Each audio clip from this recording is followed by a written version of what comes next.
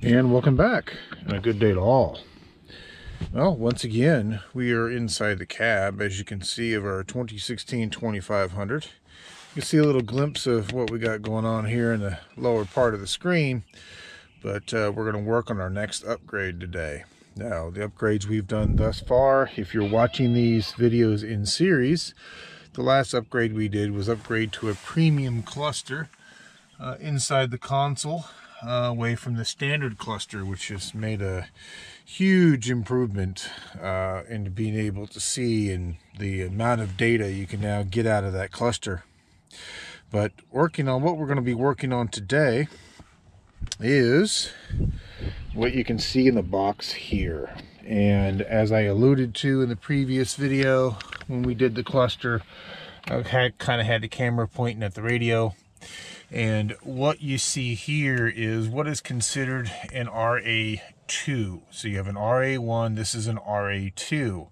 So this is kind of the lower end of the trim level of radio, but this one being an RA2 does have uh, Uconnect and Bluetooth ability to connect the phone to. Uh, what it is lacking is the Android Auto functionality uh, and the online ability that a lot of the newer radios have. So the factory that you can upgrade this vehicle to a factory 8.4 touchscreen, which would give you Android Auto and CarPlay and integrate um, climate controls, things of that nature into the radio itself, uh, like it does on the upper trim level Chrysler vehicles. Now, we also have in this vehicle what is considered the, as you can see here, one, two, three, four, and you're maxed out. So you've got the four speed fan on here. So the, upgrade kits to take this particular 2500 from this RA2 to a full-on 8.4 touchscreen with the proper climate controls, it can be done uh, and there are companies out there, Infotainment being one of them, that makes these kits where you get the new bezel piece, this new radio trim bezel piece, new climate control unit, the radio, the new wiring harnesses, because uh, also what is needed in order to bring this particular, what is considered a, again, a four-speed fan up to a seven-speed controlled fan. It requires an additional HVAC module that would sit here uh, on this side of the uh, dash. An additional wiring harness that would convert this over not only to a seven speed fan, but also instead of having manual temperature control that you see here, you would have the temperature buttons on the side. So we also have what is considered manual AC because we've got this manual button here for whether or not we want things colder, uh, cooler or hotter, and we can't control currently any of that through the radio. So to be fair, uh, the kits, the factory kits would bring all that up to that level uh, and integrate, and not integrate, but it would also, it would integrate the controls in the sense that you could control the climate through the radio as well as the push buttons below. Well, after adding up the cost of the kits of what we would need, and I'm a big proponent for keeping everything factory, uh, cost-wise, however, it's almost the same cost as what you can see here, which is this is a Linkswell, uh, what is considered T-style tablet, 10.4 inch Android tablet that is going to take the place and pretty much go from here, where the bottom of our bezel is for our climate controls, on up to here. So it's going to take the entire place of this center section. So not only will it integrate our controls for our AC into the head unit, by going with an Android tablet, it's going to give us the ability, and we will be adding a SIM card to this radio, a data-only SIM card. Uh, I use Google Fi, uh, so it doesn't cost me any extra to have a data SIM, and the data the radio will use will just be taken away from the group plan. Uh, but again, not only will it integrate the AC controls into the head unit, but it also gives us a head unit that's going to run Android. So we could bring Google Maps up on a nice 10.4 inch screen and just have the radio navigate directly uh, rather than having to plug in the phone and do it via Android Auto, which would still be an option uh, either on the 8.4 or on this unit as well. We could just go Android Auto and power it from the phone but the ability to be able to have full-time internet in the truck and be able to do things like Google Maps and internet searches and things of that nature uh, would be very, very useful. Uh, the radio can kind of do everything in and of itself. So that is the reason why I decided to at least try uh, to go one of these Linkswell, uh, to go the Linkswell route that you see here versus stepping up to the 8.4. Now, if we run into huge issues and we can't get those issues resolved, or if anything ends up being more trouble than what it's worth, then what we will end up doing is possibly just pulling the links uh, Linkswell out and going with a, a factory 8.4. But we're going to give this one a shot first because I, I think it would actually be look kind of cool in here to have, again, that tablet go all the way from here on up to the top here. Now, with all that said, um, as I mentioned, we will be putting the SIM in this radio uh, so that we can get it online. Uh, we're also going to be trying a couple of things that um, it's not a fault of Linkswell. It's just some items that they don't support that we're going to see if we can integrate. And depending on how it works out, you probably already know the answer to how this is going to work based on the, the thumbnail and the title description of this video. But currently, this head unit does not support using the integrated mics that are inside the rearview mirror that our old Uconnect system currently uses for being able to make phone calls and, and things of that nature. So we have got down below here the pinout for a 2016 Ram 2500 for the radio connector. And it's this big 52 pin connector that goes on the back of that radio. And more importantly, what we're going to do, we're going to trace down the pins for microphone 1 and microphone 2, both positives, and then we're going to use the microphone 1, uh, microphone in negative that you see here. So on this particular harness, we went pins 29, 30, and also uh, 40. Yeah, so we went 29, 30, and 40. And what we're going to do is use an adapter, and don't worry, I'll show you all this when we get to it. So rather than use the external mic they give you in the kit, which normally they give you like a little bud type mic, uh, that a lot of individuals will just kind of route through the headliner and hang it uh, in here uh, just so it's kind of able to pick you up but also be out of sight out of mind. But rather than use that again we're going to try to use these microphones that you can kind of see sticking up out of the rear view mirror already.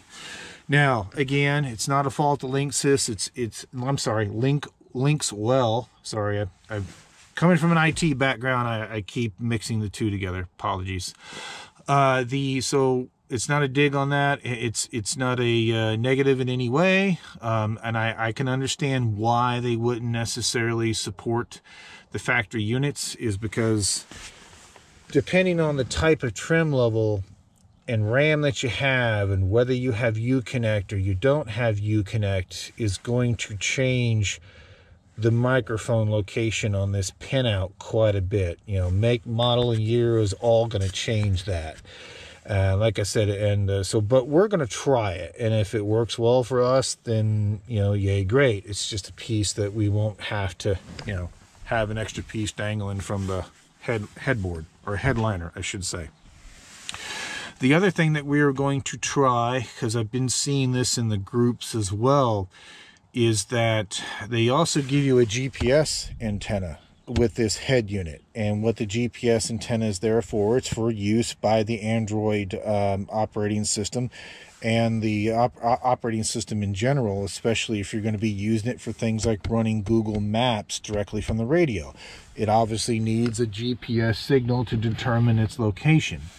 Well, rather than, again, having to install and route a separate GPS antenna, I am seeing online. Now, this truck also does not have, uh, is not equipped with a GPS antenna because, again, we don't have the navigation radio. But a lot of individuals online have stated that they, they have done this and it worked. So we're going to try it.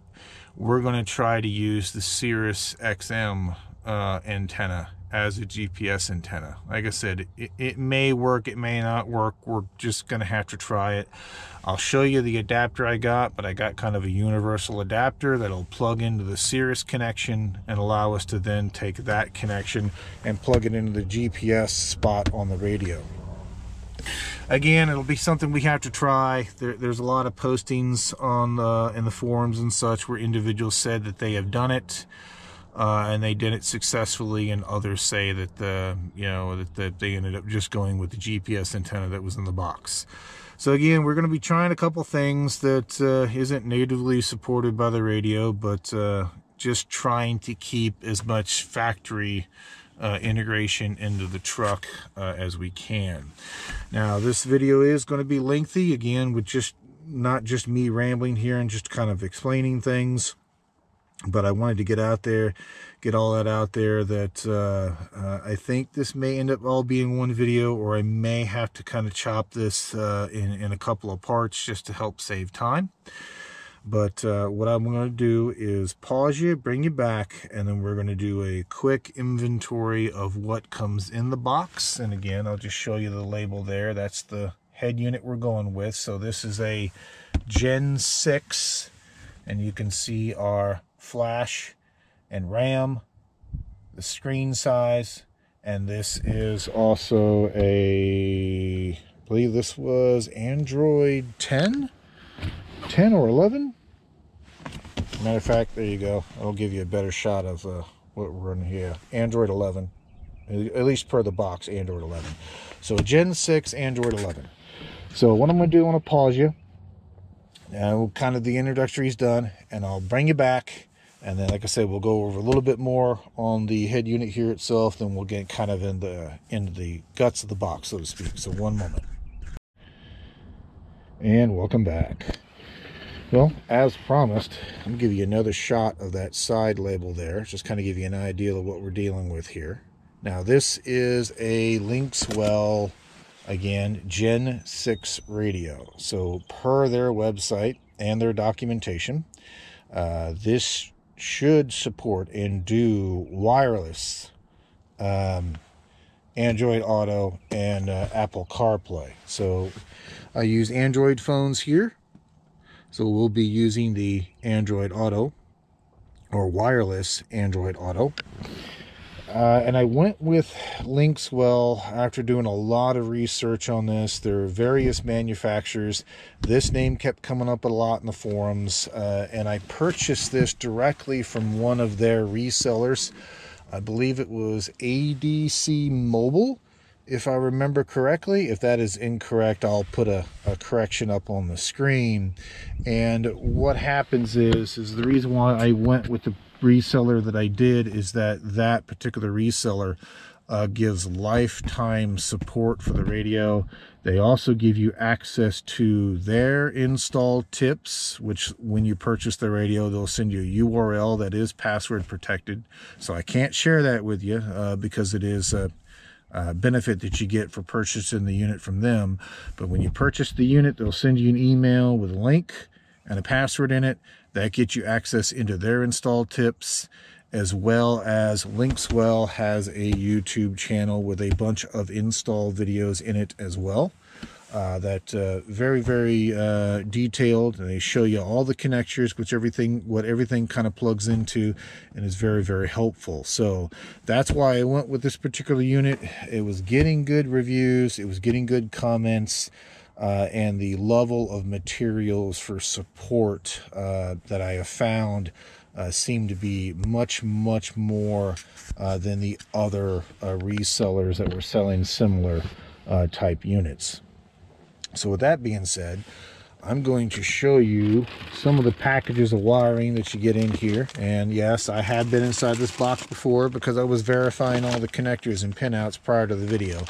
So it will come better packaged inside of its uh, plastic bags other than what you see here. This is just because I was inside of them earlier poking around. Now you have kind of two main bags of wiring. Now first of all, don't let all the wiring kind of uh, seem intimidating what you have to understand about these units is that they're geared in such a way to support a wide range of trim levels and options and features. So you're going to have wiring and connections into this unit for to support features that you may never you may not even use because you don't have that particular feature on your vehicle. But you've got the main kind of what I would consider the vehicle specific wiring harness, as you can kind of see from the label right there. This is a Dodge Ram, you know, GT6A version 11 package. And what you get inside of here is the main wiring harness that'll plug into the factory connector. Gives you all your breakouts for your audio, your RCA outs for your various cameras, CD players, things of that nature. And don't worry, we'll we'll go over at least all the options we're going to use in this truck because again, there's going to be a lot of these connections that, to be honest with you, I'm just going to uh, heat shrink them, cover them up because it's, it's going to be options that we're we're not going to need. Uh, and also uh, this connector here, which is labeled 8P USB harness. What this one is, and you'll notice on the opposite end of this, you'll see that funky looking connector. And also this says phone link. This one interfaces with a factory USB connection that's behind the radio. Ultimately, well, that will end up, at least in this truck, is right up here inside of our center console that we added. And it will come out right here to this square USB module that has our aux port next to it. That will retain this USB connection. This one is a spare one that you can run elsewhere. It's used for phone link. You can use this, uh, again, per their install video, uh, to charge a phone, to plug in like maybe an external hard drive or the phone itself and charge the phone, so on and so forth. So what we're going to use this one for, because remember, we already know that this one is set for power and this one's wired for power via the connection that goes underneath the driver's seat. So I don't need to necessarily run this one uh, up here because uh, we're going to have that one tied in with this connector. Now they make a note about not being able to use this for Android Auto going forward because the way Chrysler does it is that the circuitry needed to regulate voltage, handshake, so on and so forth to make Android Auto work through USB um, that's already internally done on their radio. So the circuitry in here will kind of conflict the circuitry here if you try using this to make a USB based, you know, Android Auto connection. So what we're going to do is again, we're, we will make this one live, not necessarily use it for Android Auto since we can do the wireless on our version 6 here. Uh, but what we will do for this one, just for convenience, is that I've got an extension cable that I'll show you. We're actually going to run it down underneath the console since this is nice and cavernous underneath here and gives us a great ability to run wiring. And I'm thinking what we're going to do is come down inside of our nice little deep well here and I've got them on the way that hopefully will be here today but it's basically some USB mounting ports and USB pass-through ports that we'll be able to plug a connector in the back of and it'll just give us another USB port uh, that we can then you know possibly plug a hard drive into for external media uh, or just have another port that we can use to charge a phone with. Again, not quite sure yet. So it may end up here or we may end up just utilizing as just a cell phone holder. Uh, or we may end up just utilizing our little cubby hole back here and just putting the little uh, little plug in there.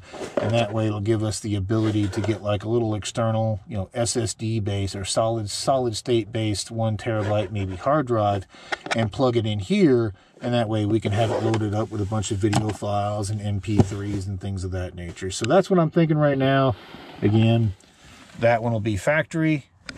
That one will end up here on the top of our console, and that's a spare one that we're going to route at some point to some location. Also, what is left inside of the factory wiring bag here is that you've got a couple of uh, antennas in the factory bag, and if you look at the label on it, you'll see that's labeled 4G. So that is a 4G cell antenna and so is that one. So we've got two of these. And again, we will be putting a SIM card in here, and it does have a SIM adapter in case you need to go from the smaller, I believe what is called micro SIM to a slightly larger one to support the radio. Uh, we will be using that, uh, and so like I said, you got the, sorry, I'm getting sidetracked here. So we've got the two 4G antennas. We've got the SIM adapter. We've got a uh, Toslink or optical connection. You can see it right there. So if you're an audiophile and you've got your own, you know, sound system set up, and maybe all you want is just the optical out of the radio. Well there you go right there. And again we don't have that kind of a high-end system on this truck so this will be one of the cables that we won't be plugging in or using but they do give it to you in the kit. Now this is an important box here. This is the CAN bus decoder that will plug into the wiring harness. We'll show you that here in a bit when we get to that step. And this is what's going to allow it to talk to the vehicle and do things such as uh, allow your factory steering wheel controls for your volume and items to still work with the radio. Now, one item that we will be losing with this truck is the factory Uconnect functionality, which again, um, I could just make phone calls directly through the phone. Um, I hardly ever, um, even when driving, uh, accept a cell phone call on my phone. Normally, I'll just let those things go to voicemail or just have the individual text me. Uh, usually, I won't answer a phone until I'm not driving or I pull over somewhere. So, losing the factory Uconnect system in our case is is no harm, no foul. And this little bit of cable you see here that is labeled auto AC converter. This is if you have what is what they consider a RAM high, meaning that not only do you have auto, uh, you have the push button climate controls that would also tie into the radio, but you also have an automatic push button climate controls. And this just adapts the factory harness into a connector that'll fit in the back of the radio. Again, we don't have that upper level um, AC. We don't have an auto AC in this Ram, so that'll be another connector that we can just kind of toss off to the side that we're not going to need. We've got our factory antenna adapter. So we'll plug that into the factory antenna cable and we'll show you that when we get in there. And that part will plug in the back of the radio. And that's kind of it for what comes in the factory bag of cables, which is a lot. And this kind of is your, I guess you would, you could you could call it your accessory bag, or maybe the the radio bag of cables, is I guess would be another way of putting it. Got a few more things in here. Let's just grab the first item here. That's that microphone I was talking about earlier. You can see it's a standard 3.5 millimeter microphone jack. And again, what they want you to do is to hang or kind of clip, uh, you know, maybe somewhere right in there, just kind of right behind the rearview mirror, and just run the wiring down your pillars and over and plug it into your radio. So again, we're going to try to integrate the factory one before we go this route, but just to let you know that that is their preferred method is to use that plug-in mic. Uh, and this is the GPS antenna that we spoke about earlier. Again, we have an adapter that we're going to try to use the Sirius XM antenna, which again is already on the top of the vehicle and lovingly exposed to the outside. We're going to try to use that for a GPS antenna. If it doesn't doesn't work, then we'll come back and install this um, external one. And you have another one of these flat antennas in here. And this one, if I recall correctly, yep, this one is labeled your Wi-Fi.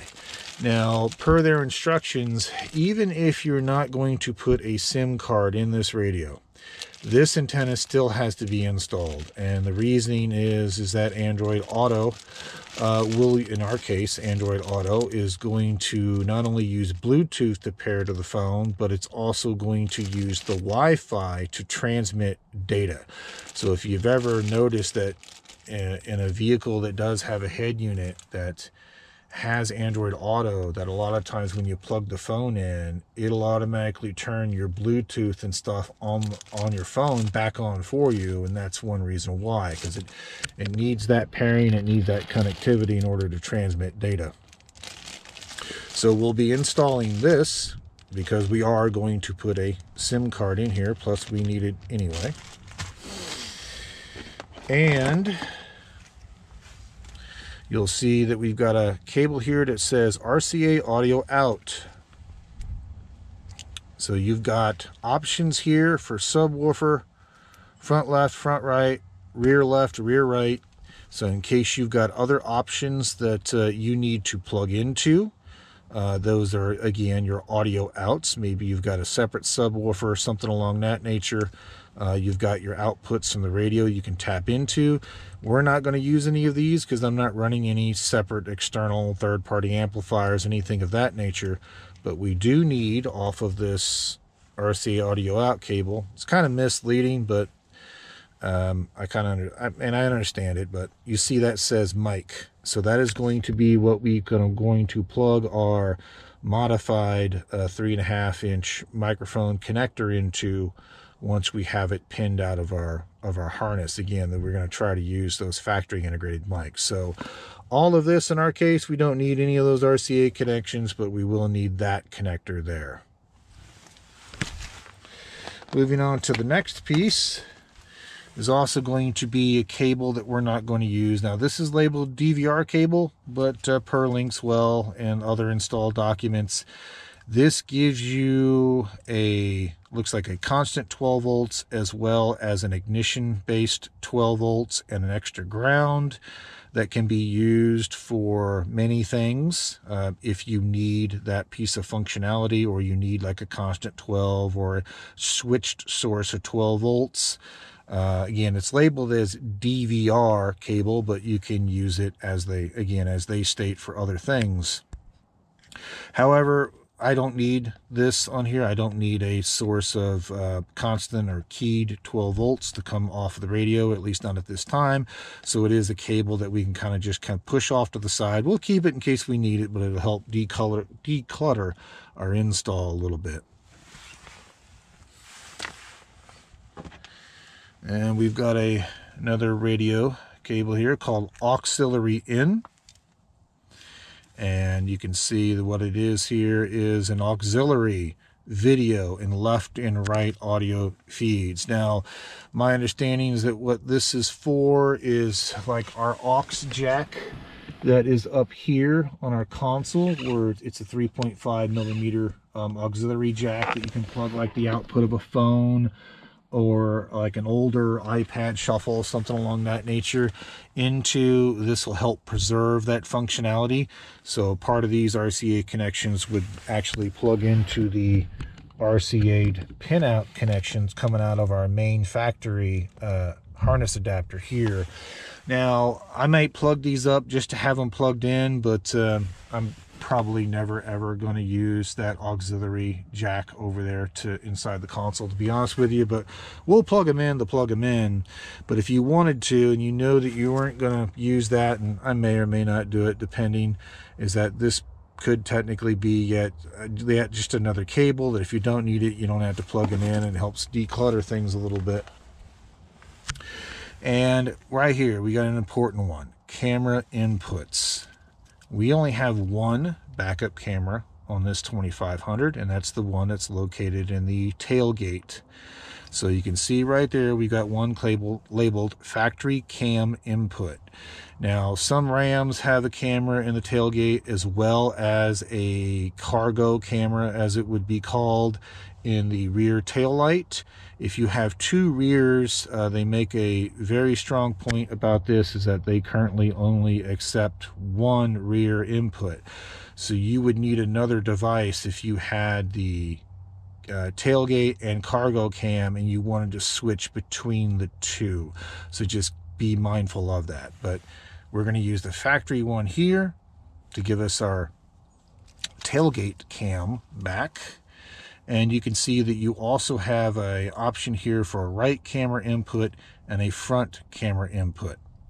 Now we don't have a front or a right side uh, camera uh, on our vehicle so we won't have to worry about the other two yellow RCAs on this connector. And they also give you, you can see here, so a couple of wires here. So front camera power, reverse power, uh, and right camera power and 360. Now we, in our case, don't need any of these additional power feeds because we're going to be using just the already factory uh, tailgate cam. So we literally just need the one RCA connection off of this. Now, it's theorizing here, and I could be wrong. Linkswell uh, would be better, would know about this better than I would, but the reason why you have the extra power here, I'm assuming that's if you add a third-party camera and you need, uh, like I said, the 360 trigger there, that would cause all three, or the 360 degree input view to show up on the radio. Or it looks like if they give you like a reverse uh, cam, uh, right cam power and front cam power. I'm assuming that's if you go with like a third party and you need a power output to the camera. But again, we're going with the factory tailgate, so we shouldn't have to worry about any of those power lines. So we'll just leave them capped. And finally, the last wiring harness uh, for what is inside the, again, the, what I would consider the radio uh, harness bag. You got an extra USB connection. So you can run a second USB line. And this looks to be just a standard USB connection, standard data, standard power pinout. Uh, again, if you wanted to run this uh, to another location, glove box, similar location of your choosing. Maybe use it as another uh, another charging port, something along that nature. Again, I won't be plugging this one up because we're just going to be using the factory one here plus the other one that again we may relocate either in the console or here. I, I think two for what we're going to be doing is going to be enough. So we just won't use the third one. Again, that'll help uh, declutter our install a little bit when we go to kind of push all this in place. So that's going to be a lot of rambling there, and I do apologize because it's going to be a long video, and I know that the amount of cabling uh, looks daunting because it's a lot. But again, keep in mind, as you saw here, that that cabling is done up in such a way it's it's for production reasons. Um, so that way, that harness will support a wide range of makes, I'm sorry, wide range of trim levels in years. Whereas you saw that you just kind of have to go through it and determine, you know, what you're going to use versus what you're not going to use. But with that being said, I'm going to pause you and I'm bring you back.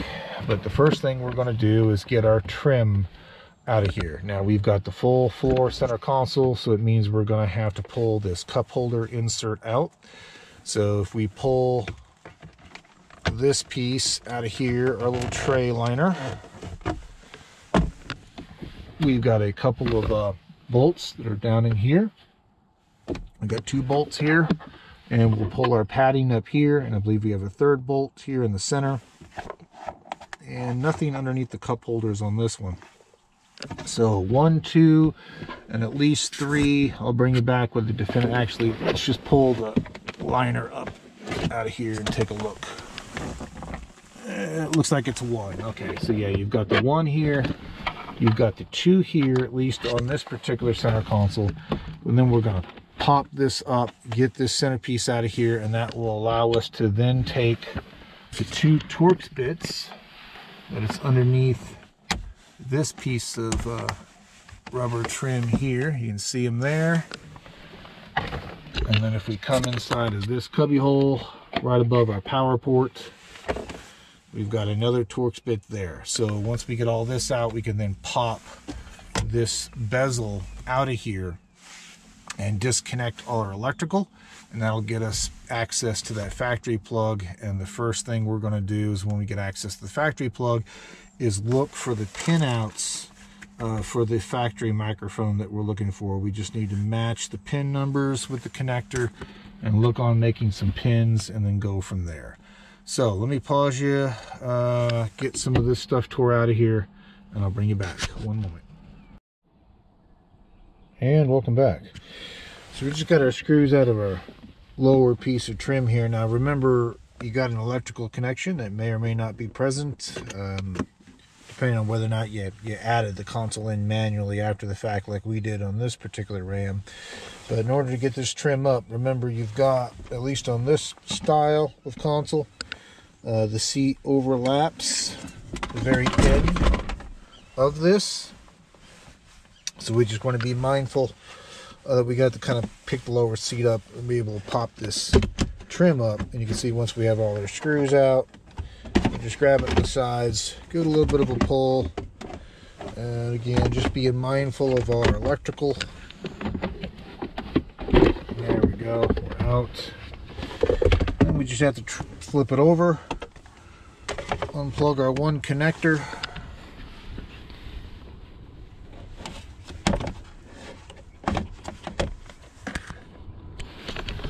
Yeah, now we can take our entire cup holder assembly, just put it here in the back seat.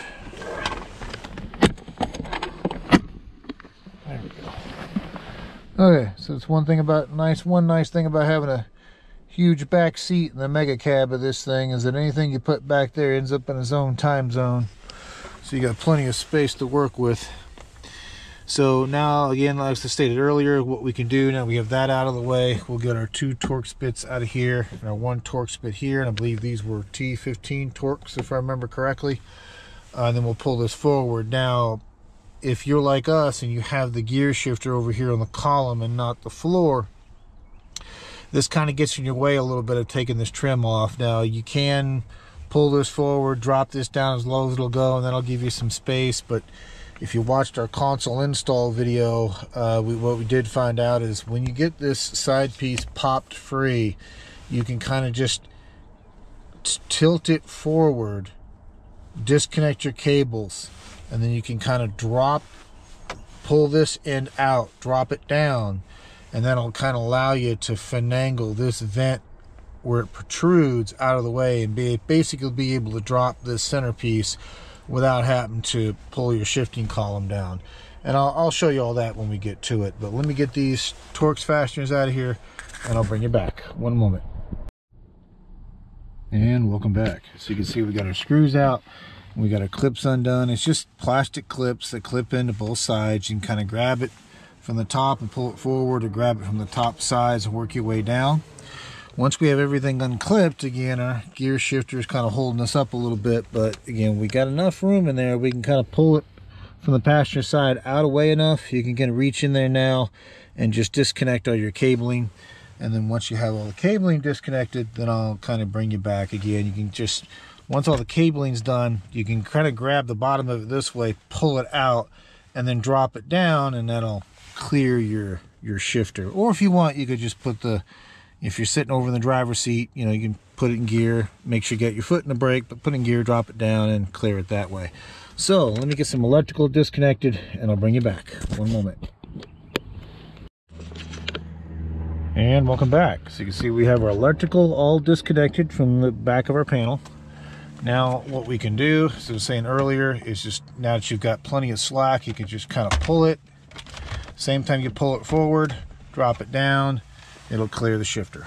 So this piece we will revisit because we will be end up doing a little bit of modifications to this in order to get the new radio in place. But to kind of give you a little bit of a heads up, but we'll go, don't worry, we'll go over all this in a, when we get to this step, is that we're going to be removing the Phillips screws all around this border and taking this entire center piece out. If you remember when we put the center console in, we actually transferred this center piece over uh, from our old bezel unit over to this new bezel unit. So we're going to be doing the same process we did. We'll be removing this entire center piece. Now to comment on what was being said on the install video, in our particular install, we're dealing with what they consider a RAM low. Again, meaning that we do not have automatic AC, we have manual AC, but more importantly, we have a four speed fan on here. So one of the main differences is not only do we have this plug here, but we also have this big old hunkin' power connector here. Because what happens is this is your power control to your fan because it's only four speeds. Now seven speeds as well as the autos do this a little bit different. Uh, and if you have a RAM low and you wanted to upgrade it to a seven speed variant, uh, and have it where you don't have this big, big old hunkin' power connector here, uh, you in theory could do that. Infotainment sells the kits, and, and what it is, as I was stating earlier, there's a module that ends up going back here, which is an HVAC module. You get a new wiring harness. You get a new resistor, which goes into the uh, blower motor below the dash, and then it adapts your existing harness to basically come out to where the control module here, if I remember correctly, won't have this big old hunkin' power feed plugged into it anymore. It'll end up having just a uh, a smaller single single connector that plugs into it, in which in that case you would need the adapter out of the kit. Like I said, I don't, you shouldn't I don't think I'm I don't think I'm going to go that route here. I'm just going to leave well enough alone and keep the RAM RAM low because the radio will support the again what they consider low, mid, or high. We have the low. We're going to go low, but I figured I'd just throw that out there as trivia for you that if you have a four-speed manual um, control box like this for the AC, you could upgrade it to the you know non-auto or even the auto versions of a seven speed. Going full auto, however, would if you have this particular setup and you went full auto with your AC it would require some additional programming and modifications done to the HVAC box in the truck and so on and so forth. Anyway enough useless trivia there. So what we're going to do we're just going to set our trim panel off to the side here and we're going to work on getting our radio out next. So one moment. It looks like it's yeah it's just the same standard bolts that are used all throughout fixing this dash onto the vehicle. Uh, so let me get to work getting those bolts out and I'll bring you back. One moment. And welcome back. So you can see we got our radio loose. You can see it's not much to it. Uh, all our connections here in the back. We've got our main harness connection. That is going to be our USB uh, connection that you see right there. Again, that is the one that will come up and plug into the little um, media hub, if I believe is what it's called, that's there in the top of the console. Uh, and of course, uh, right there is our antenna. And of course, this is our Sirius XM that you see here in the yellow uh, mustard type color connector. And that's the one we're going to try to adapt to be able to use that for GPS. But like I said, uh, what I'm going to do is work on just getting all of those disconnected. The bigger latch, bigger latch right here for the radio is one of those kind. You kind of have to, you squeeze it together as you saw there and just lift it forward and kind of let it ratchet itself out and it helps release those pins because again, it is a big old 52 pin connector. Uh, so let me get all four of those connections you see out there and I'll bring you back. One moment. And welcome back. So you can see we got our radio out, connectors. As we were saying earlier, that is our Sirius XM connector. Again, tell by the kind of yellow, yellowish mustard type color connector. This big old uh, kind of thicker coax looking connector with the white end on it. That's going to be the antenna connector. That's what we'll plug our adapter into. And that'll be their USB connection again that goes up to our console we spoke about earlier and of course our main harness connection. Now, this XM was the only one that was a bit tough to get that clip to finally push free and uh, mainly because it been kind of mushed a little bit. You can see whoever ran this in the factory ran it through the metal opening here rather than just dropping this down and coming out the bottom like we just rerouted it, which would have made it, I guess, fit a little bit better, but not quite sure why they did it. Oh well. No harm, no foul. We'll get it addressed. But the first thing I want to do is look at this connector and figure out where our pins are going to be. Again, we're dealing with some very, very small pins here. So I believe there's some, yeah, there's some numbers written on here that I'm going to have to look at. Again, the, numbers that we want to deal with are going to be pins 29, 30, and 40. So that will give us microphone N negative, um, microphone 1 positive, and microphone 2 positive. Now there's also a, a number 2 in negative. It looks like they've got these wired separately, but um, if I had to guess, and once we find the pins, we can we can verify it. But I'll bet you more than anything inside that rearview mirror, um, those negatives may be tied together. We'll have to, I don't know, we'll have to put an ohm meter on it and check it. We'll have to check between pins 29 and 39 and see if we get connectivity. So let me look at this uh, connector a bit more, find some pin numbers, and I'll bring you back. One moment. And welcome back. So in case you like I said, in case you wanted to see it, just using a small meter here just to do some checks. There we go. And again, just checking between the resistance between our ground, or what is now our common microphone negative. I keep calling negative ground, it's, it's a habit. You can see we got a resistance reading there, about 4.6K. Like I said, these microphones in this truck are actually a higher resistance than what comes with the kit, so it may be happy with us doing this or it may not. And you can see our other one's about 4.73K. So we got connectivity. We know our pins are seated. Now, as we were saying earlier, on to the next step. So it's going to be to take, once again, this audio output connector here and in our case, we're going to go into the Ram audio, Ram, Dodge Ram low audio tag because we do not have a factory Alpine system. Uh, now this may look uh, look a little bit different uh, than your uh, setup because remember we depinned and removed a lot of these connectors. We we you originally you're going to have two more on here for a CD input, uh, and you're going to have another uh, camera connector on here for a cargo cam. Again, we weren't using them, so I depinned them and removed them, and we ended up reusing those pins, as you know now, to route our micro or to tie in our microphone wiring. So, uh, let me get this connected, and then uh, I'll bring it back. And I think before we do the radio and the bezel and all that, we're going to get our antennas situated. We will be using um, all three of these antennas that came in the bag. You've got two 4G and one Wi-Fi.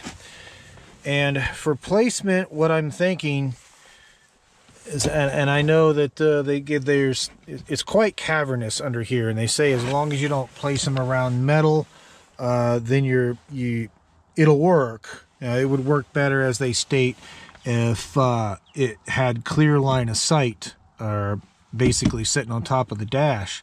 So what I'm thinking is we've got three antennas. I think the cabling is long enough. Since we don't have an Alpine system, we don't have a speaker in the center here. So we can actually just pop this piece of trim up that also houses our daylight sensor. And we might be able to kind of sneak the wiring out and kind of come off left and right with the um, um, 4G antennas and maybe just put the, uh, well, we got a vent right here, so we don't necessarily want to cover that up. So we may just go left side, left and right for 4G because we got two of them, and then either go left or right within uh, this area here up front and just put kind of the Wi-Fi one and just have them just kind of set up here in, in, in front of the dash. Uh, they do have the double-sided, uh, looks like double-sided sticky tape on it, and I have seen individuals just kind of maybe come here on the corner of the passenger windshield and kind of come down that way. Uh, my only fear is, you know, where I'm at, we get hot. We get really, really hot summers. And uh, I don't know how long that adhesive would hold up if I did something like stick it to the window. So let me do a little bit of uh, a little bit of digging here. I'm like I said, I'm going to make this connection, and then I'm going to do a little bit of digging and see how we can kind of route these uh, these three antennas. So let me get to that, and I'll bring you back. One moment. And welcome back. So I'm going to do a little bit more follow-up on the using factory microphones for our uh, Android head unit. And been doing a little bit little bit additional digging on this one. As you can see, we've got our test leads and everything out here. I've been doing a lot of tracing as well as the mirror in this case, the rear view mirror in this case, comes down and has an intermediate plug-in right here on the passenger side behind this trim panel of the dashboard and then it proceeds forward to the radio. Now, interesting enough, and discovered this by accident. At first, I didn't think the factory microphone was going to work because uh, every time we tried it, uh, the head unit couldn't hear us speaking, but every time I plugged in the microphone that came with the head unit, we could do a bunch of test, uh, test, uh, test talking and it would pick it up just fine. By sheer accident, uh, just doing some additional testing. Also, the fact that, uh, and I have called tech support, this is a side issue I'll, I'll, address later in a different clip, but the head unit won't turn off. Uh, we're, we're, again, we have engaged tech support on that one to see if we can find a solution. Uh, we've got a case open with the manufacturer, but utilizing that um, issue means once we turn the key off in the truck and take away ignition power, it would then pick up the factory microphones when we had them plugged in. Found it by a complete fluke, just by accident. I happened to have the factory microphone plugged in, shut the key off in the ignition, and as soon as the bus went to sleep, as soon as the cluster powered down, it could use the factory microphone inside the rear view mirror. So something is happening when the key is on the on position that the truck is taking control of the microphones in the rearview mirror. Now, I didn't think I had a separate Uconnect module in this vehicle, and I don't think that I do because the radio was Uconnect capable from the factory. Now, that doesn't mean that I don't have one. It also doesn't mean that the uh, ALLDATA is correct with their wiring diagrams because ALLDATA shows the wiring just goes from the mirror down, hits this connection point here, and then goes straight to the radio. And I can prove that's not necessarily the case. What we did, we started depinning options off of this jumper pair that goes up to the rearview mirror. Now, it's not a feature-rich rearview mirror because uh, it doesn't have auto dim uh, it doesn't have a sensor in it uh, for to detect dawn and dusk. That's in the dash itself. It's uh, and again with no auto dim feature, it really only has the two microphones. Now it does have a LIN bus connection running to it. So at first I thought it had LIN which is this wire we have depinned here. And it also has ignition power here in this one. And this is just a ground for the mirror. So my initial thought was is that since that mirror is on the internal bus, um, it may the microphones may be bus controlled, meaning that the vehicle is locking access to the microphones until in such time it knows it needs to use them. Meaning once we have the key in ignition and we have ignition power, the truck is taking control of the factory mics and obviously uh, it doesn't look like they're available or in enough of a state that the head unit can use it.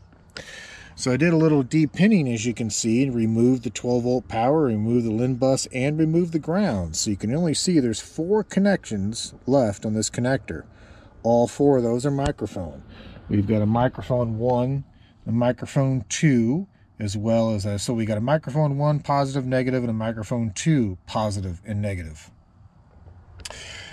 So we started depinning things and it didn't get any better. Anytime this connector is plugged into the harness that runs to the factory radio connector, with the key in the ignition and turned on, the head unit can't utilize the microphone.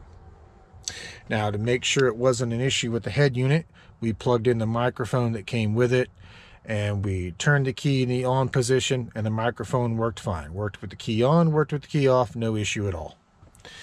So we did the same thing here, and even though this is only four microphone feeds that's coming from the rearview mirror, again, positive, negative for both mic 1 and mic 2, if it's plugged into here, goes to that harness, and uh, interesting enough, I did pin this. Uh, I did ohm check this and continuity checked it, and continuity checked that, uh, you know, the pins that we grabbed off the factory harness do come back here to the appropriate pins for each microphone. And as long as it's plugged in, again, no dice. Even though we've removed power, LIN bus, and ground from that rear view mirror, if this connector is plugged into the factory connector here, we've got an issue. So doing more testing, we unplugged this connector from the factory, probed it with a couple of our probes, took microphone one, positive and negative, and hooked it directly into the head unit via one of these little deals here that you saw me use earlier. So we just went straight from this connector, which comes straight from that rearview mirror, and then plug this into the mic feed on the back of the head unit so basically not plugging this connector into the harness. So the microphone wiring is no longer going through the harness to get to that radio, to get to the radio connection on the back. Doing that, it works. It works with the key in the ignition and on and in the accessory accessory or run position. It also works if we turn the key off. So something is happening with these microphone connections once they enter here, enter the factory harness before they make it to the radio. Now, again, interesting enough, I did continuity check this. It doesn't seem like there's anything between here and that factory connector, but there's something there. So what we're going to do is kind of work around the issue a little bit. Now we're going to be using microphone one, which as I understand it is the microphone that's closest to the driver's side. Microphone two is the one on top closest to the passenger side. So we're going to do this. We're going to depin microphone one, positive and negative in our case, pull them out of that connector so we can utilize them directly. And then we're going to feed them into this little connector here. And we can actually either use this one, we could actually use a male end or a female end, it doesn't matter. And then we're just going to utilize a 3.5 millimeter stereo mic um, extension cable to then plug in from here to then go into the back of the unit. So hopefully that makes sense. Again, I'll, I'll show you when we're done, but we're going to depin microphone one, positive and negative, out of this connector. Screw them into these terminals here. Route this somewhere underneath the dash with just an extension cable going from here to the head unit, and then we'll be set. And then we'll have this head unit using microphone one out of our rear view mirror and that will take care of our issue this this has been an interesting one as you can see i've i don't know if uh, i got deep you can see i got all the depinning tools here i was playing around with some resistors earlier thinking it was a matching problem because the, the factory microphones do have a higher impedance than what comes in this particular um, head unit kit. So I figured it may have been that. So I was using some resistors in parallel, trying to match impedance, and it, it still wasn't working for us. Uh, but it wasn't until, again, just by sheer accident, I had the factory one plugged in, shut the key off on the ignition, and then lo and behold, dash went to sleep. I said, ah, you know, let me just try it. Tried it, and it started working and on from there. So that's what the game plan is going to be. Like I said, I'll, I'll show you once it's all done, but we're going to depin mic 1 once again positive and negative out of this connector and in case you're curious we need pins 14 and pin 12 so we need to depin 12 and 14 from that connector and that's what we'll feed into there. Because remember when we looked at the pigtail coming off the head unit and we ohmed it out remember the pigtail on this particular head unit is only using two wires. It's only using the left channel um, of that three pin stereo connector. So that's what we're going to do. We're going to go like for like. We're going to use mic 1 just because it's closer to the driver's side. I think you could actually use mic 2 and again, they're, they're close enough. You can see they're pretty close to each other on that review mirror, so it may not make a difference. But that's what we're going to do. I'm going to get this depinned and I'll bring you back and show you what it looks like. One moment. And welcome back. Well, I just got everything kind of test mocked up here before we put the connector on it, but we do have that connector depinned. Again, we're going to depin positive negative microphone one in our case. In our case our microphones each have the positive and negative and I've seen a lot of other Uconnect examples where the microphones are wired differently. So you want to keep that in mind. Make sure that if you're going to attempt this that you get an accurate wiring diagram of exactly what type of microphone setup you've got. But in our case we got microphone one positive negative. Jump it over here to just one of those little terminal block uh, mic connections. Just as a test and to kind of show you here let's see what I want is to do a search. There we go I'm gonna hit the microphone one. Testing testing testing testing testing testing. And you can see we're getting our it's picking us up on the screen there nice. So you can see there it does work and uh, what we're going to do now is just kind of button this up, uh, put one of those terminal. We're going to take this terminal, we're going to put the male terminal end over here, get it screwed in, get it secured, zip tied, taped up. And like I said, we'll just have a 3.5 millimeter uh, phono extension cable uh, coming across here and going into there.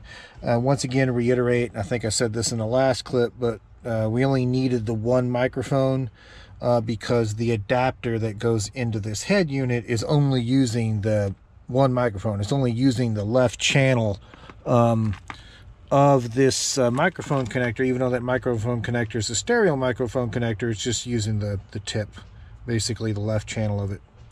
So I'm going to go ahead and get wrapped this up and I'll bring you back. One moment. And welcome back. So we got our adapter on. You can see with it all nice and taped up some fabric tape, re-secured to our loom. And we started securing it into the harness back here behind the glove box. As you can see right here, and then what we'll do once our extension cable comes in, we'll just continue continue to follow uh, the bottom of this harness uh, all the way just uh, get our extension to kind of come back in the radio and plug in. So it means this one that we so diligently ran uh, at the beginning of the video and where we tap the microphone directly out the back of the factory connector, we're just going to have to remove uh, this one, unfortunately. So, I mean, that wasn't really wasted work. It was work that ultimately led into the uh, further discovery of initially led us to what the problem was. So the nice thing is at this point uh, we have a functioning uh, factory mic, which is mic one again in our case, going into our head unit in which our head unit now recognizes it whether the key is in the uh, ignition or not. Remember before when this connector was plugged in to the harness using the factory harness when we tapped off the back of the factory harness if the key was in the uh, the on position the head unit couldn't see couldn't pick up the microphone. It wasn't until the ignition was off and the interior uh, uh, networks went to sleep that it would finally talk to it.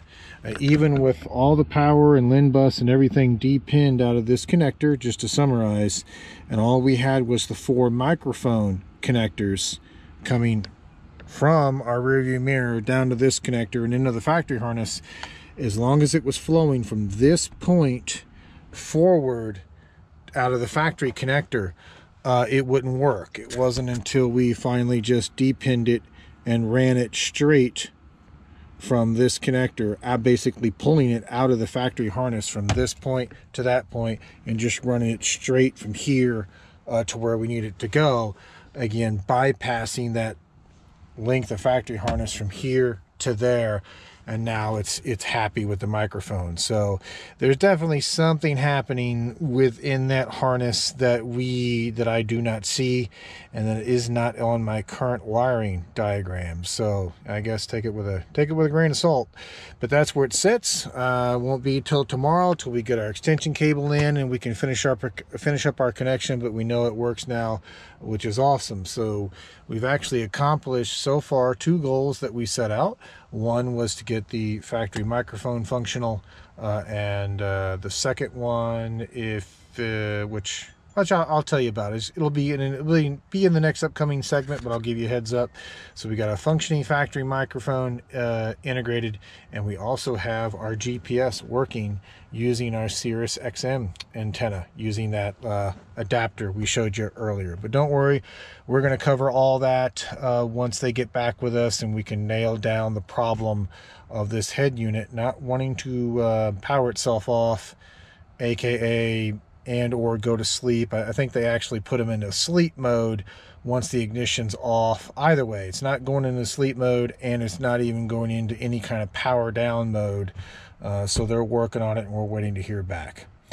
So that being said, uh, I'll pause you and I'll bring you back for the next bit. So one moment. And welcome back. Well, um, you can see we've got our trim piece removed that uh, would either a or a be a speaker and the daylight uh, daylight uh, sensor. In our case, just the daylight sensor. But we were able to get them kind of dropped in and started fishing them this way. Now we took the glove box out, and no, I didn't include it in the video. You you've seen me do that several times on this channel. But once you get the glove box out, one bolt, you can pop out this upper cubby and you can see where the wires are coming through all three of them. And that little corner right there there's enough room. If you've got small hands you can do this. If you have large hands I suggest you do not do this. Uh, but you can kind of get up in here and push this ductwork down a little bit out of the side that you can fish the wires or we were able to fish the wires down this way towards the right there's a little uh, little bit of opening here. We were able to fish them down this way and just kind of feed them down until we could reach in and grab them from underneath and kind of pull them the rest of the way through. So as you can see we've got our two um, 4G antennas and our Wi-Fi antenna. And then uh, all we have to do now is we'll figure out a placement. It looks like at least on this dash right here I'll just grab this one as an example. If you come far enough over there's enough of a gap between the edge of the dash and the bottom of the windshield that they'll just kind of drop in place. There's a little piece of foam. They'll just kind of push up against it and kind of hold it there. Uh, so I think that's where we may put again the LTE and the Wi-Fi will probably go on this side and the other LTE will uh, end up putting, I'm sorry, the other 4G slash LTE will end up putting on the driver's side kind of in a similar spot and just tuck the wiring uh, around the front lip of the dash. Now it's going to mean that uh, our trim piece here, it may be happy. We'll have to try it. It may be happy and kind of snap in place. It may put a little pressure on that wiring, but I, I don't think it'll be much to cause an issue. Um, if it keeps this from sitting too flush, we may just have to come in here and just quickly just put a little bit of a notch in it. You know, to be honest with you, it wouldn't take much. I, I may go ahead and do that once we get the sensor situated. Uh, and that way, that'll just allow it to kind of snap in place and hit flush. But I'll, I'll show it to you once it's done.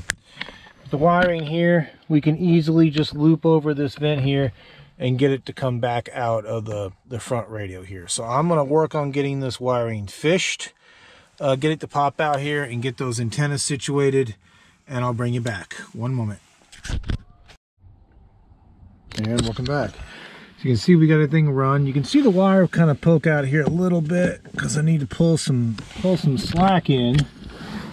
other than that, they kind of just disappear into that little little fold. You can see them if you're obviously sitting inside the vehicle, but from outside the vehicle, you, you don't notice it at all. Uh, what I did on this one, it looks like it's okay. Like you can get like one wire to fit through that corner when you put the molding back in place fine. But on this side, since we have two, um, one being Wi-Fi, the other one being the uh, 4G, I just took a, a nice sharp box cutter and just kind of shaved off that very, very pointy corner there on the end a little bit and that should allow that wire to clear and this piece to kind of snap and and lay flat. So let me get this up in there and I'll show you what it looks like. One moment and welcome back. Well, welcome back to this nice dreary rainy day. We are back outside in our cab of our 2016 2500. And in the previous segment, uh, we covered a little bit of what happened and kind of, we had to change direction a little bit on how we integrated the factory mics into the head unit. And just to kind of finish up that conversation real quick, just to show you uh, from our adapter here, right where it has this intermittent connection, goes up.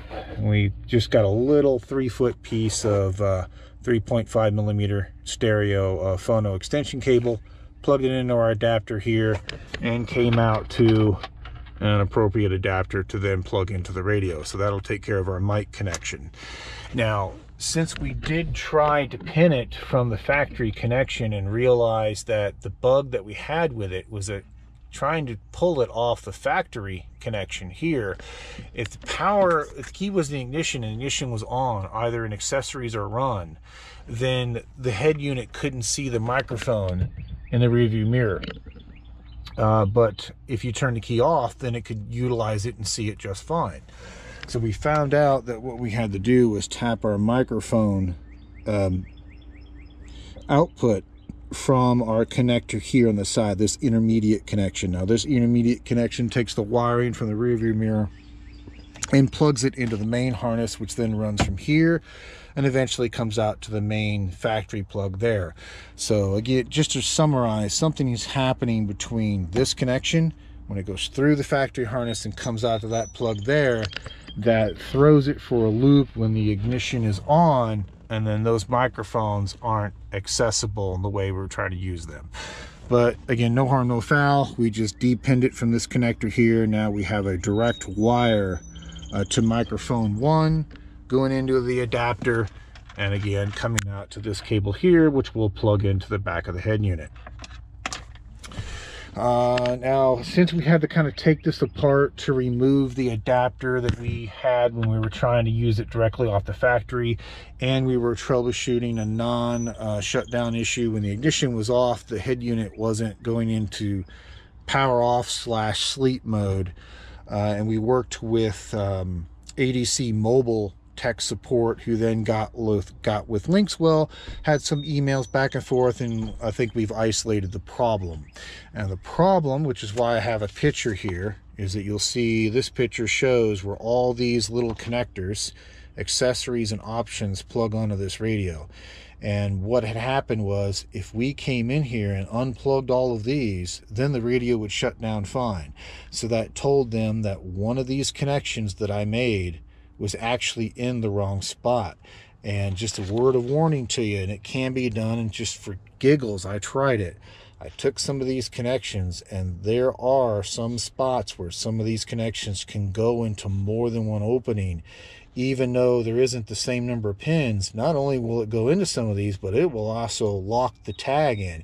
Like you'll hear the distinct click, like when that locking tab engages.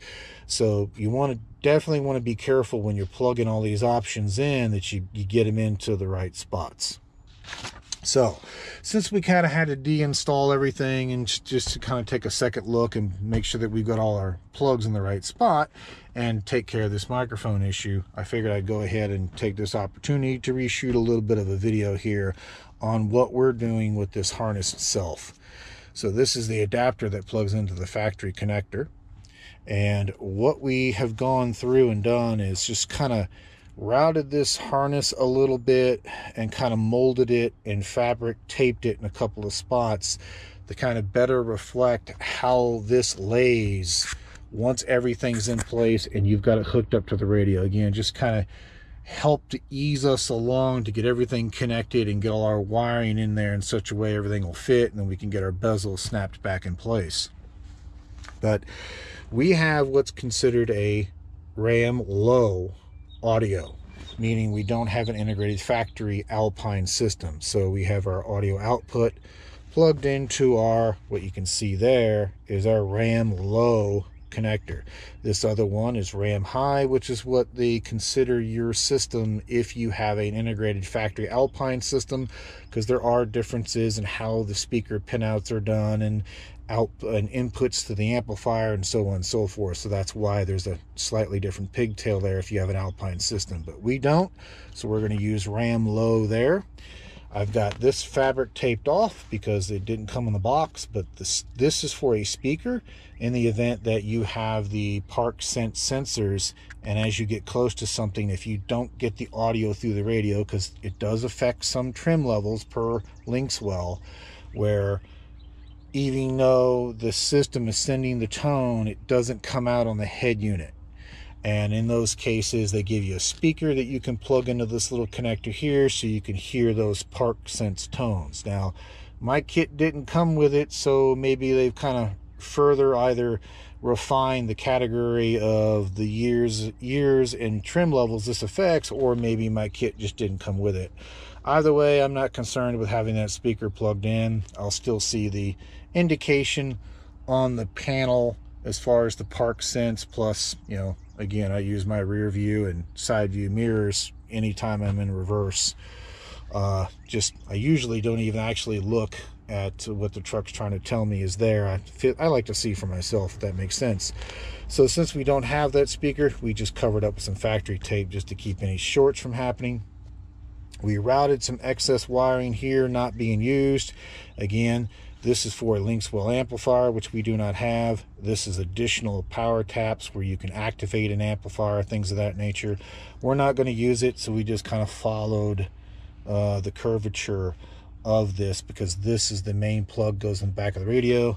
This is our CAN box decoder or a CAN bus decoder, our red box there that allows it to talk to the CAN bus and do things uh, such as uh, interact with various components on the vehicle. Uh, in our case, we only need the one connection there, which goes on that end there. We don't need the smaller one on certain models and trims. On these boxes, it requires two connections. It does not for this particular RAM. So we just have this taped off since we're not going to have a Linkswell amplifier, or at least in here right away we're not. So that's just taped off to prevent any shorts. And again, we just kind of tuck these against the wiring harness just to kind of keep them out of the way. Now, as far as our audio and video outputs from our harness going to the inputs on the radio, we really got just uh, kind of a minimum here. Uh, I went ahead and hooked up the auxiliary, which is the 3.5 millimeter jack on the headrest here that gives you your auxiliary to the auxiliary end. That's the white and red RCA you see there. You can see we did wrap these connections in some fabric tape just to help secure them. And we did do the reverse camera output from the harness to the factory camera input going to the radio. This will account for our backup cam, which in our case of this RAM is inside of the handle for the rear tailgate. I did go through on this harness on this side of it though, and I depinned and removed the CD audio option because we do not have a factory CD uh, op option on this car. I don't ever plan on adding the factory CD. So I went ahead and depinned it just to get rid of some extra RCA connections here that weren't going to be used for anything. Much like you kind of see here where on this camera input connector, they also give you provisions for front camera input, um, a right camera input and another auxiliary video. Um, I could have depinned these from this harness, but I wanted to leave these in there in the event that we do want to add a front or a side cam, and that way the inputs are already there. So again, we just covered them with some factory tape to help keep them insulated. And on this one here, which is auxiliary, again, the only thing we're using here, uh, just to reiterate, is the auxiliary out, which is that 3.5 millimeter uh, phono jack. All the other options you see here, which are pigtails, you'll see that you've got, um, uh, let's see here. So, yeah, we got that one. Yep, that's all our auxiliaries. I'm looking for where these wires, okay, the wires are coming from the CAN inputs. These are already covered from the factory. These are various reverse power, as you can see there, 360 trigger. Other options we weren't using, but I didn't necessarily want to remove them, at least not right now. So again, we just followed the harness and kind of zip tied everything up just to try to keep it as neat as neat as we could. So that's really um, the only options as far as these inputs and outputs that go into the as you can see right hand side of the radio here that we're using that tie into this harness. So the cam inputs and the aux in are tied into the adapter harness. And the other options that we are using is the 8 pin USB harness. You see there we'll be plugging that one in that one has the interface for our factory USB. You can see it there. That will plug into our gray USB connection here. And it will eventually, after a little bit of a journey, end up here. So that's where our factory USB data USB will end up. This is also USB as you can see, but this is strictly just power. And that's plug that's got power that comes off a connector underneath the driver's seat. It's not tied into the radio at all. So we'll be using that one. We'll also be taking the extra USB labeled phone link and we'll be adding a section of uh, a three, I think this is probably a six foot section of U high quality USB-C high-speed transfer extension cable and we'll be adding it to that phone link port. That way we can either run it out here or and I've got some USB connections that we may kind of stick it in the well of the top of the console here uh, just to give us another port that we can either A charge from or B do something like plug a you know a solid state drive into something along that nature uh, and let's see We've also got this little adapter here. I'm going to cover that. I'll go ahead and cover that now. Let me get you the part number, what this is. Now, spoiler alert, we know this works already because we had the radio in here once before, and it actually works quite well. This is kind of a universal connector that will plug in, allow us to plug into the Sirius XM antenna connection and we're going to plug it into the back of the head unit for the GPS and it's going to allow us and at least in our case it works uh, it allows us to use the Sirius XM antenna as a GPS antenna and not have to use the GPS antenna that came in the kit. Again nothing wrong with the GPS antenna that came in the kit but it, it allows us to have you know one less thing that we've got to route somewhere in the dash uh, let's see, we've got our other antenna adapter that we need to attach here, which is going to go on this connection here. And that just adapts the factory AM FM antenna uh, to be used by the head unit. And of course, our antenna wiring, which you've already saw in a previous clip. Uh, we do kind of have everything uh, finished at this point and running out. But just to recap that for you, is that we've got one of the 4G antennas and the Wi-Fi antenna running over here, kind of pushed down towards the edge of the window. You can kind of just barely see the antenna sticking up between the edge there. And we've got the other 4G antenna kind of tucked away on the right where this shaded section of the bottom of the window windshield is on the driver's side. And that wiring makes its way through underneath and then comes out here. So we'll be getting those plugged in. So again, the Wi-Fi connection, which is the screw on one, and the two 4G connections, which are the purple ones. Awesome. So again, it looks like a lot, but uh, you know, you're you're good. Uh, just kind of take it one piece at a time, nice and slow and steady. And what I am looking for, let me find it. Oh, one moment, one moment. I think I left it inside the, the workshop there. Let me go grab that one connector. And welcome back. Sorry about that. And this is the other one I want to show you here. Again, this is the mic input, but remember this mic input also has uh, several other RCAs that would normally be on it and what those are are outputs like if you have external amplifiers things of that nature let me uh, show you one here. You notice this one says subwoofer. So they've got a subwoofer out a left and a right out both on the, the female connectors. But you can see they've been depinned. So this connector is usually your RCA outs for your amplifiers things of that nature. We've depinned everything and reduced it just to that microphone connection.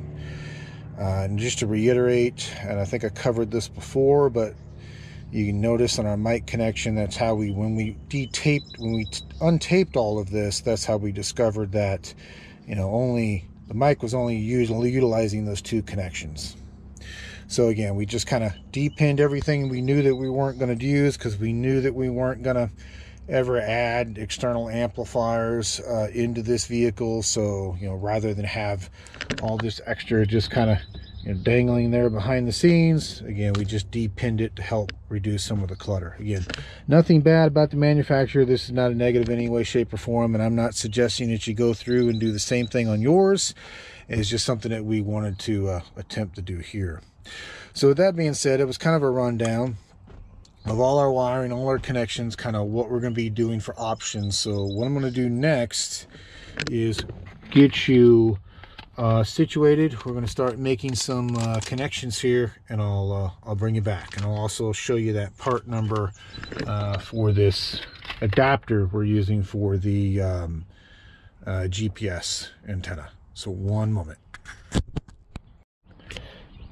And welcome back. So we're clipped in and to our factory harness here.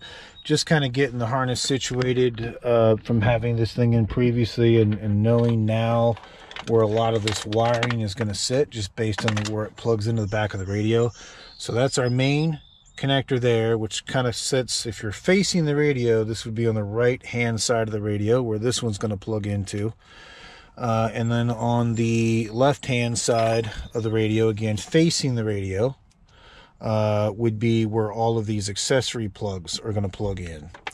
And you can kind of see that right there. You got your main plug here. And again, if you're facing it from the front on the on the right, and then on the left, you got all your accessories. You got your GPS, which is in blue. You got your two 4Gs, which are in purple here, and you got your Wi-Fi, which is your screw-on connection. Now, what we're also going to be doing here, since we have a RAM low, we've got an AC connection here that'll go into this white plug. And then we also got the big old honking power connection, which goes to the blower itself.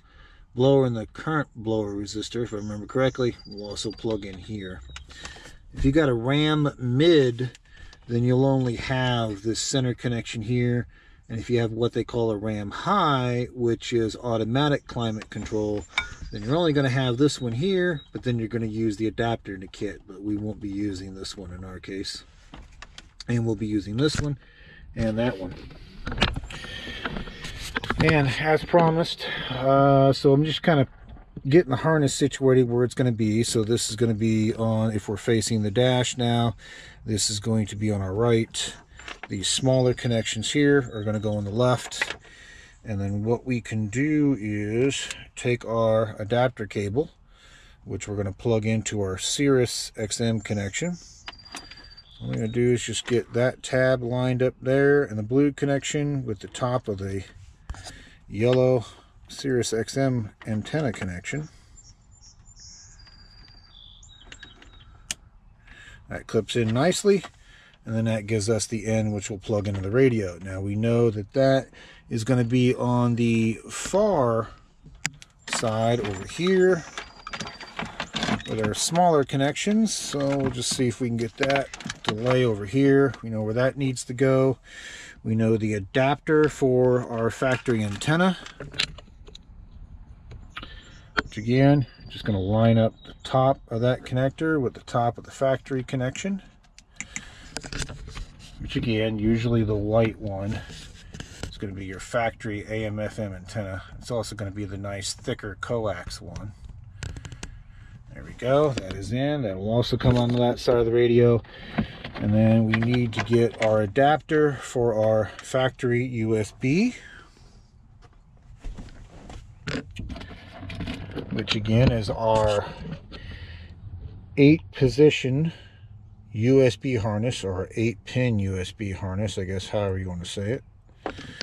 And the factory one just plugs into that matching adapter you see there.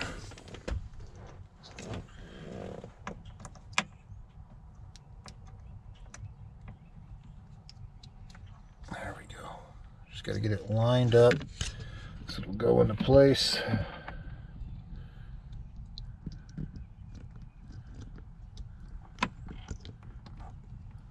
There we go. So hopefully you heard that just kind of click in place.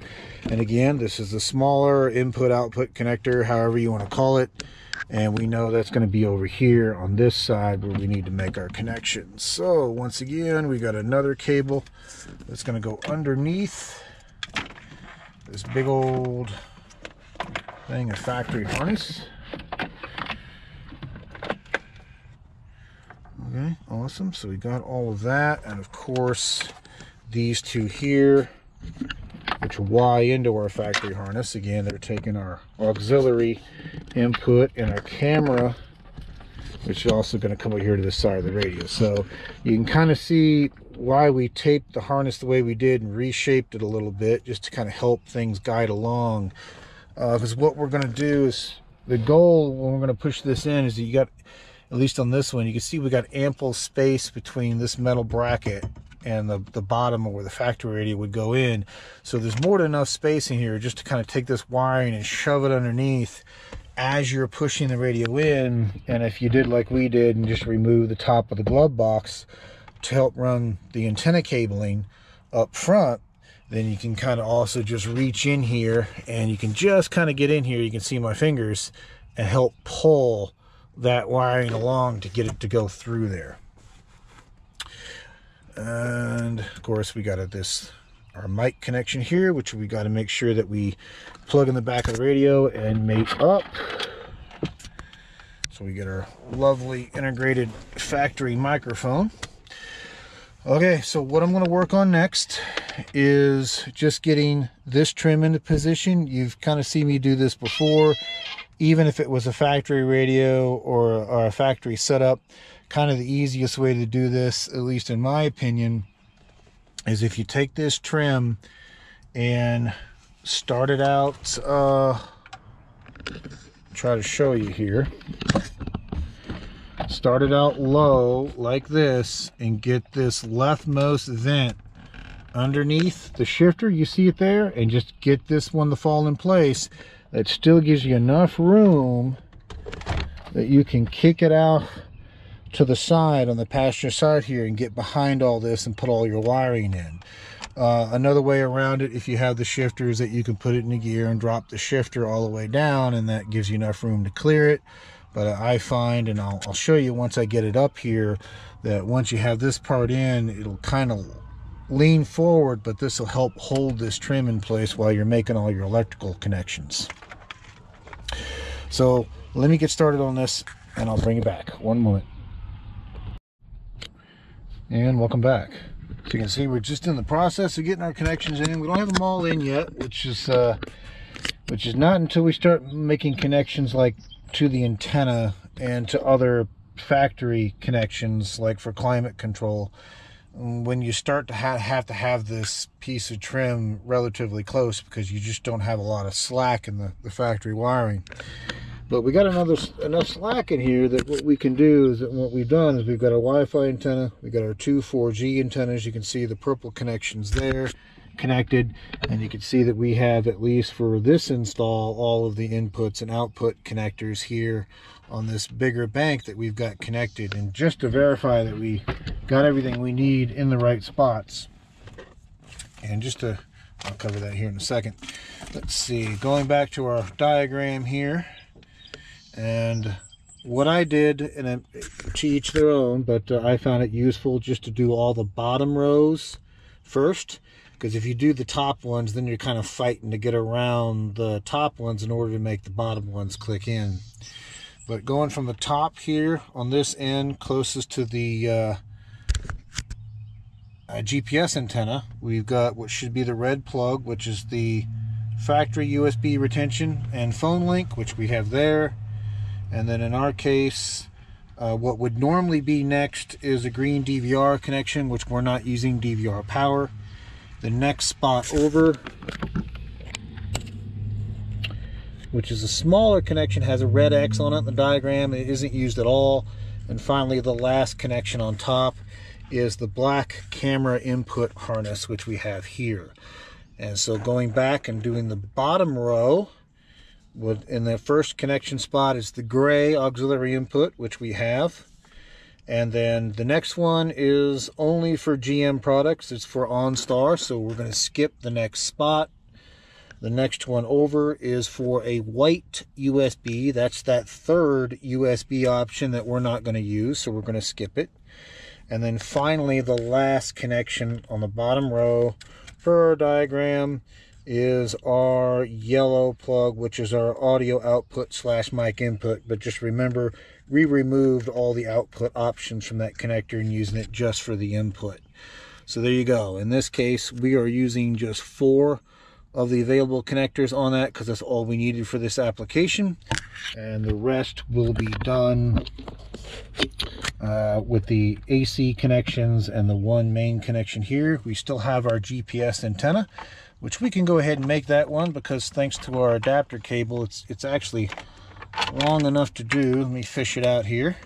And speaking of that adapter cable, I promised I'd give you a part number. I got this off Amazon. There's the manufacturer. I'll put a link in the description as well. And there's your part number. So it's just a male to female. Now, when you look at the diagram on this online, and what they'll tell you, and this is true, they've got these keyed in such a way that this male to female will actually plug into any, pretty much any colored connector. And yes, I'll, I'll show you the name of that connector. I'm not sure how to pronounce it, so I'm not going to try, but you can see there, it's F-A-K-R-A. Uh, let's go ahead and get our GPS antenna hooked up while we're here. Again, top to top, just to show you that that does fit. That locks in nice and good. So that now ties. That's now going to make use of our Sirius XM as our GPS antenna. So obviously in this case, we know that we don't have Sirius XM in this truck anymore, and we don't have plans on ever adding it again. Um, mainly just because there's so many other audio options out there. Again, it's not a dig against Sirius XM. There's just a lot of other options out there for audio. Uh, so we'll, we'll, we'll, take advantage of the antenna again, just to help kind of limit the amount of other third-party products, antennas, things of that nature. Uh, plus, you know, if, if it allows us to make it a little bit more integrated than factory, that's that, that that's what I'm striving for. Okay, let's see here. So again, we got our CAN box, our CAN bus decoder box already plugged into our connector there. So what we're left with is the main AM FM antenna the main harness going to the back of the radio, our climate controls, and of course, plugging in our options, our factory options, our factory buttons are still there, and then plugging in our four-wheel drive, two-wheel drive select switch there.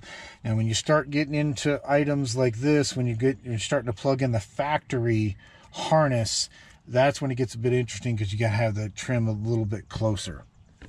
So I'm gonna start moving this trim closer, getting it in position as we do. As we do that, as we spoke about earlier, I'm just gonna start to make sure that all this wiring is just going underneath here and we'll just kind of slowly push it in place. Uh, all of our antenna wiring as we get closer and closer to it. Uh, we can just reach in through here through our cubby hole and just kind of pull the slack out of our wiring and just kind of help everything ease into place because you can kind of see how it's going to go there. We're just going to take this box, this connector, push it down, uh, and just start feeding this in as we get this in place. Now, even uh, Linkswell's install document says this will fit into here. They said you may have to fidget with it to get it to do it, but they said it will fit into here. Uh, they said there really isn't a need to have to cut this. They said you can cut this you know, like lower piece here um, that goes across that the factory radio would normally sit on, but they said it's really not necessary to do so. So that's what we're going to attempt. Uh, we're going to get it close finish up our connections. I'm going to bring you back. We're going to do a power on test real quick. Then we're going to shut the key, make sure it still goes to sleep. Uh, and as long as it still goes to sleep, then we'll go ahead and get everything snapped into position. And then we'll come, we'll bring it back again and we'll do a little bit more uh, in-depth test. So let me work on getting this position and I'll bring you back. One moment. And welcome back. So we went ahead and hooked up our antenna which again is there towards the back but as you can see what I was talking about earlier if you get the vent here on this driver's side started and just kind of stop there and let it kind of lean forward. The shifter will help hold it there but you can see you got enough of a gap here. You can still kind of reach in and have plenty of room to get your hands in here to make the remaining part of your electrical connections. So let me get these uh, let me get these taken care of and I'll bring you back. One moment. And welcome back so it, it seems to be going okay but one item that we are hitting is the length of our adapter cable that we're using for our, our GPS antenna now the one they send you is this square GPS antenna here but you'll notice it has a much shorter plastic connector on its barrel uh, so we went ahead and disassembled it by just taking the key out of the side and then sliding the connector out. So I'm going to disassemble this connector and see if we can put that fitting on it. Uh, albeit this one's not a right angle.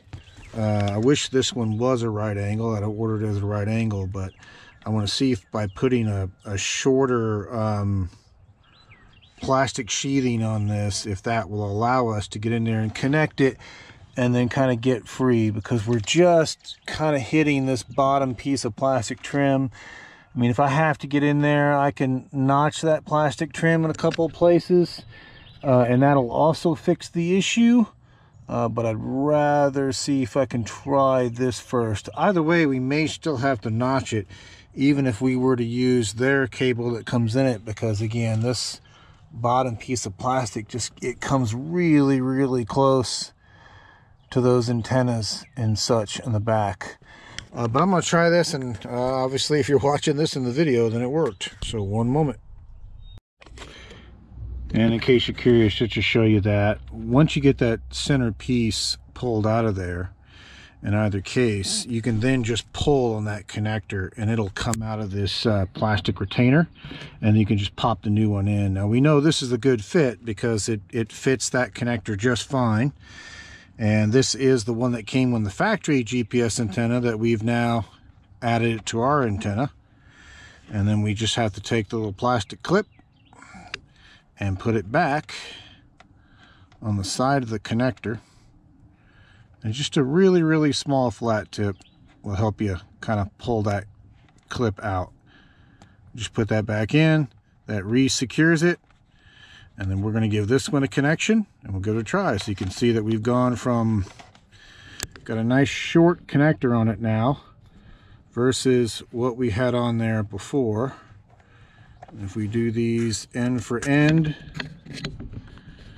you can see the, the length difference. So we're gonna give that one a shot and I'll let you know how it goes. One moment. And welcome back. Well, it is snapped in. For better or worse, it snapped in. uh, we got all the connectors on the back of it. We're just going to do another test here. Now, uh, using the shorter um, connector that came on the factory uh, GPS antenna that you saw in the previous clip, the, the shorter plastic piece, did help. Uh, the other one that was a slight issue, and I did have to put a slight bend in the wire, and I I normally don't like doing that, so I would strongly suggest, but the Wi-Fi antenna that's screwed onto the back probably it would be it would be a lot easier if there was a 90 degree connector on that or if you pick up a 90 degree connector of your own. Um, doing that and then like we said just kind of making sure that everything gets situated left to right and slowly push the harness in as you go. And then finally uh, just make sure that the connectors at the top just kind of almost fold at kind of like a 90 degree angle to get it um, over that plastic lip that we were looking at earlier that's behind the radio. Uh, and that seemed to help immensely because uh, and then slightly pick up on the top as you push it forward a little bit and all of a sudden it all just kind of boom, it all just went boom and fell in place and you can see that we we're not hitting our little uh, wiring here. So what we can do nicely, because we have a nice little gap between here, is that once we get our sim situated, we can just stuff it between uh, these two pieces of plastic here and kind of get it out of the way. So yeah, I would do that if you had if you if you got this particular dash set up that seemed to work out quite well. Fish it up this way, tape it in place to hold it. Uh, if you're going to use your factory Sirius XM as a GPS antenna, uh, then if you're going to pick up this adapter, I would definitely look to see if they have a 90 degree version of this or just take the plastic piece off, which in this case, this was the part that went on the radio, and just swap it out with the one that comes on the uh, connector for the kit. And that other than that, it's again just that uh, Wi-Fi connection that screws on. I did have to kind of slightly bend that at a little bit of a 90 degree angle uh, just to get it to clear the lip. And then finally, as you can see, everything uh, fell into place at that point.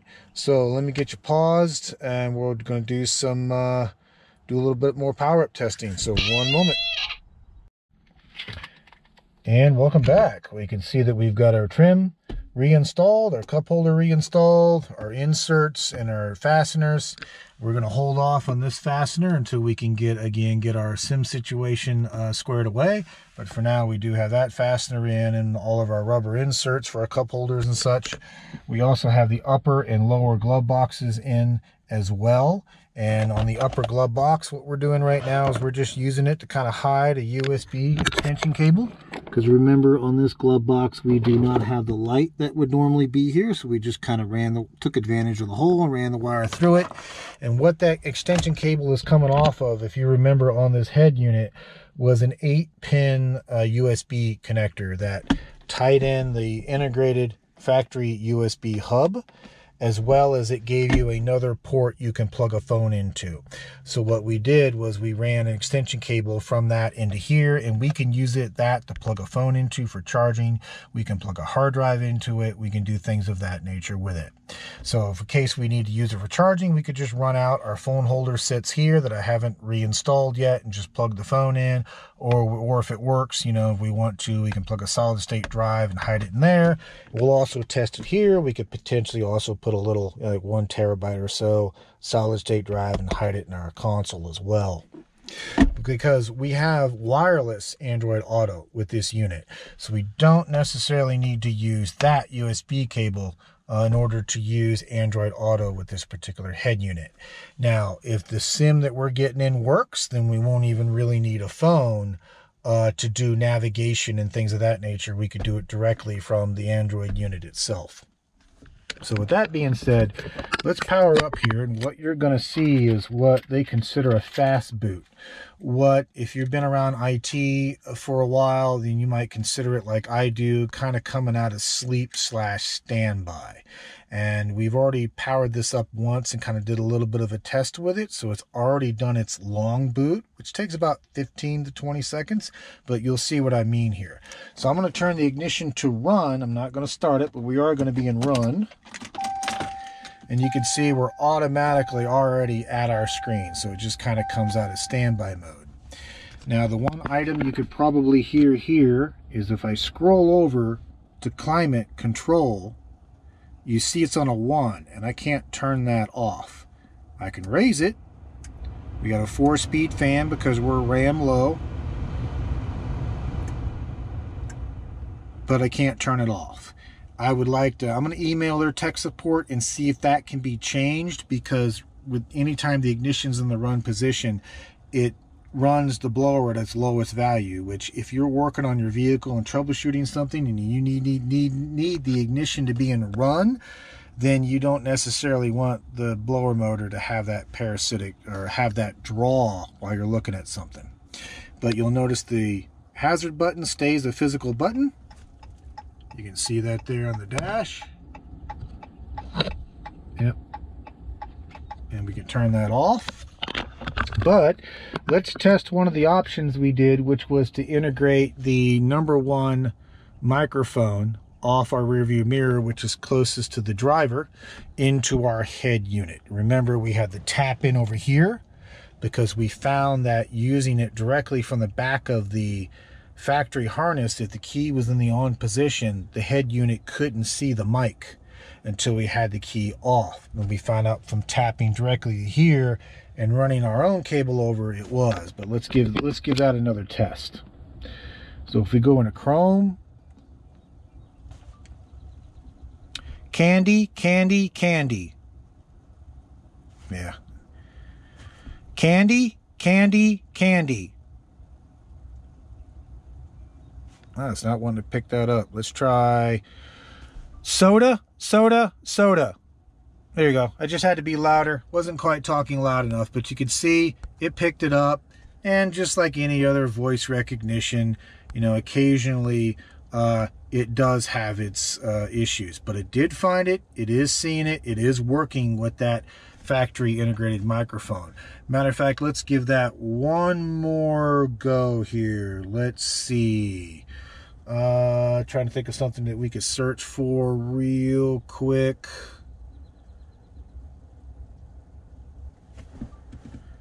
Fertilizer. Fertilizer, fertilizer. There we go. Fertilizer, fertilizer. Awesome. So again, no issue there. So let's go back to home. I'm going to set you up on the center console now. And I'm going to pause you. I'm going to make sure you're zoomed in. And I'm going to bring it back. And then the next thing we're going to look at is the GPS antenna. One moment. And welcome back. Okay, so I got you zoomed in about as far as I can. And I have to treat this one a little bit differently. I apologize. So if we come back in the home and we go into settings, come in the system in the top right hand corner of this unit, and then there's a GPS option right there. And what I'm going to do, I'm going to click on GPS, but I'm going to kind of cover the left hand side of the screen because I don't want my GPS coordinates out there for the world, and then I'll bring you back in. But you can see we're getting several good green GPS signals and it says that we have 22 satellites available currently in our current position.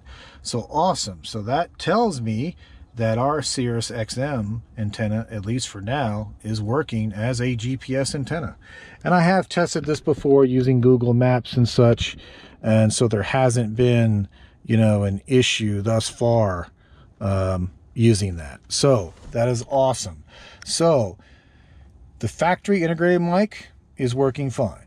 Using our Sirius XM antenna as a GPS antenna is also working extremely well. So that at least gives us two additional points of factory integration uh, that we didn't have before. Again, it's not a dig on the kit. There's nothing wrong with the kit. There's nothing wrong with the mic that comes with it. There's nothing wrong with the GPS antenna that comes with it. Um, I, I did it because I wanted to try to do it and I wanted to see if, again, I could get a little bit more factory integration out of it, which for now it seems to be working fine. So that is it in kind of a nutshell. Let me just power this down so that blower motor's not running. And I'm going to open up the driver's door here just to simulate an exit event.